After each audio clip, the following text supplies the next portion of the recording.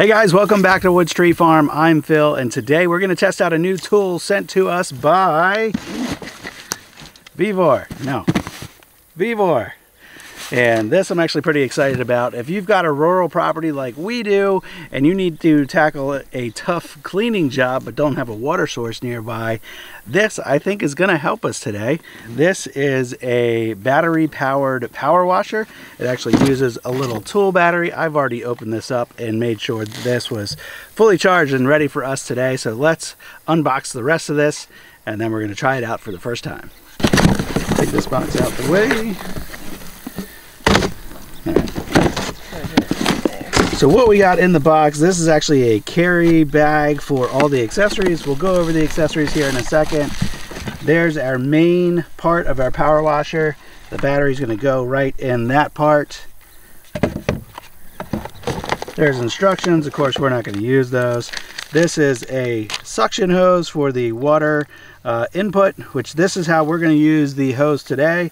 There's also an adapter. If you're just hooking this up to a regular garden hose or something, you can use this. It's got a threaded piece on it and you can hook it up to your garden hose. This is a soap nozzle and dispenser if you're going to soap anything up. And then it comes with an extension wand that will go in this. We will use that today. And then there are two different nozzles. A, I think this is a, a, fan nozzle or maybe it's an adjustable nozzle. We'll try it out. And then there's a different nozzle here with several, several, several different spray patterns on it. We'll probably go ahead and try that out. Either one of those will just plug into the end of this wand. Now I thought I might just go and fill up a five gallon bucket of water. I wasn't exactly sure what the water consumption is going to be like. So I've got my gas powered pump here right down by the pond. I'm just going to put a bunch of water in this big 100 gallon stock tank and then we will use that pond water to hose off this, which is actually one of our big photo props for the farm here when we're open at Christmas time. It is a cutout of the Griswold car from National Lampoon's Christmas Vacation movie. And it, we actually put like a, a roof rack on top of that and put a real tree on top. That's a bunch of fun. But it's been laying down in the grass for a number of months and it's just got a bunch of dirt and plant matter all over the front of it. So I thought this would be an easy test to test it out on. It needs to be cleaned anyway. And then um, you know, let's just fire it up. If it works out really good, we fly through this. Probably going to hose off the tractor because that thing has, I don't think it's ever been cleaned. So we'll see how it works on that.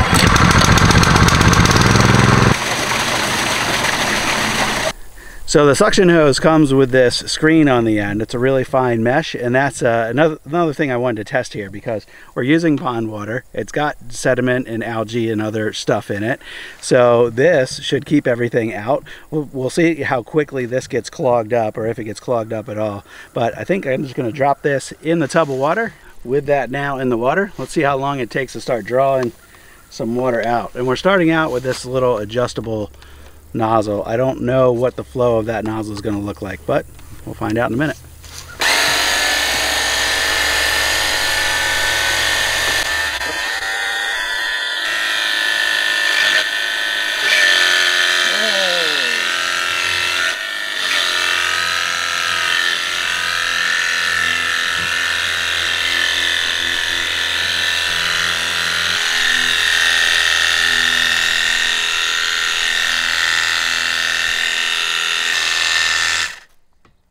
one. How's it adjust?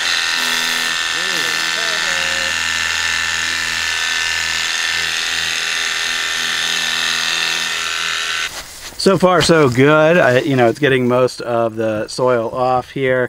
We are going to switch nozzles just to see how those work.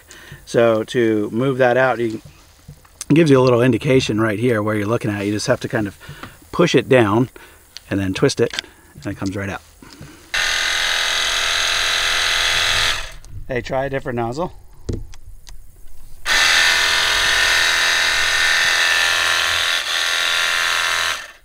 All right, try again. Switch, uh, just go through all of them, see what they look like. All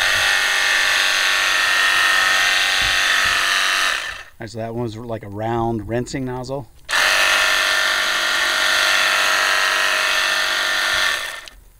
Okay.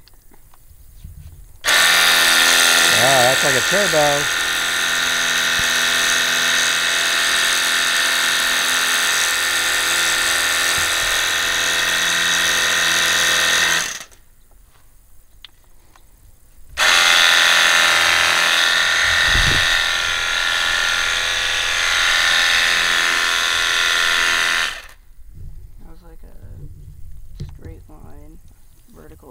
on. Yeah. So after that little bit of use, this is still showing four four lights on our little battery indicator.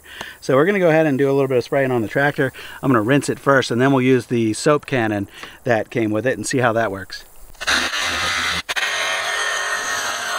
All right, now to try the foam cannon, we just push this in, turn it, we can release that.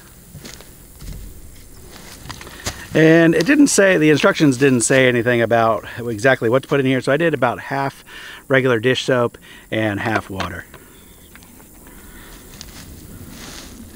This has actually got an adjustment on it, and it just says min and max with two arrows. So we'll play with that and see how it does. Right now we're on max.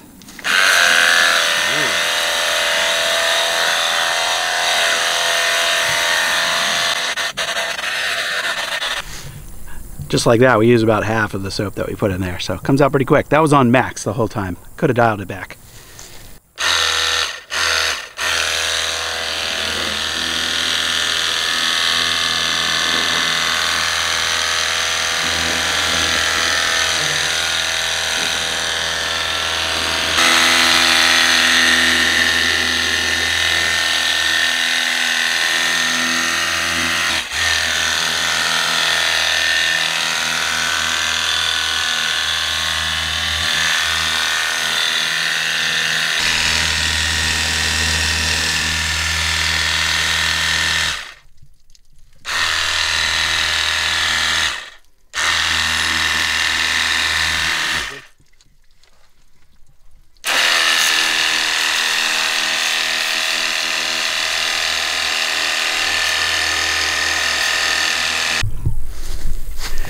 The battery just died on us. I actually had the camera off and I was just going to finish up this side and then talk to you guys a little bit more. I did not get around the back, but I tried to get as detailed as I could around, you know, the two sides in the front.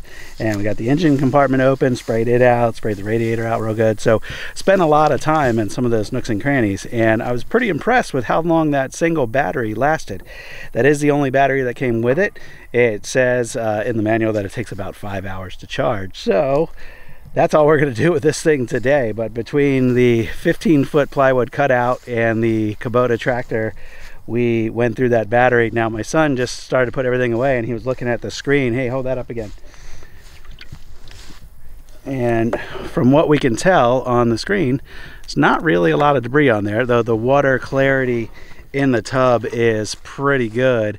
So this seems to have worked just fine. And you can see obviously it, the machine worked fine. Now this is not nearly as powerful as like a regular gas powered power washer. Uh, on a couple of those nozzles I actually put my hand in front of it which you shouldn't do with a power washer. But uh, I didn't do it with that really fine jet nozzle. But um, you know it is not the same intensity as a regular power washer. So the tougher the job the longer it's going to take with this small thing but I can easily say the tractor and the cutout is cleaner now than when we started. So success in that regard. And like I said at the beginning, if you have a job that is, um, you know, a remote job where you can only bring in a little bit of water and you don't have a power source and all that kind of thing, um, this little guy does a pretty good job. Now I've got uh, several other pieces of equipment around the property. All I have to do is fill up this tub, put it on the pallet forks on the tractor, haul it off to wherever I need to go, and I have plenty of water to do whatever I need to do. For that one battery that we put through this thing today, uh, I can't tell how many gallons we used. I didn't fill this thing all the way up, but if I had to guess, we only lowered the water level about that much. So there was probably only maybe 15, 20 gallons that went through it at the most, if I had to guess. And that was on that single battery charge. So if you were taking this out somewhere and you only had a five gallon bucket, I think you could do a pretty good amount of cleaning with that. Uh, I'll probably try that sometime just to see how it works. And maybe we'll do a flow test. I was just thinking that we should probably do a flow test and see how much water is really going through this thing in a period of time. So maybe we'll try that on a follow-up video. If there's anything else you want to make sure you uh, see me try out with this power washer, let me know. I'll include that in the follow-up video as well. Until next time, hope you guys have a good one. I'll see you on the next video. Bye-bye.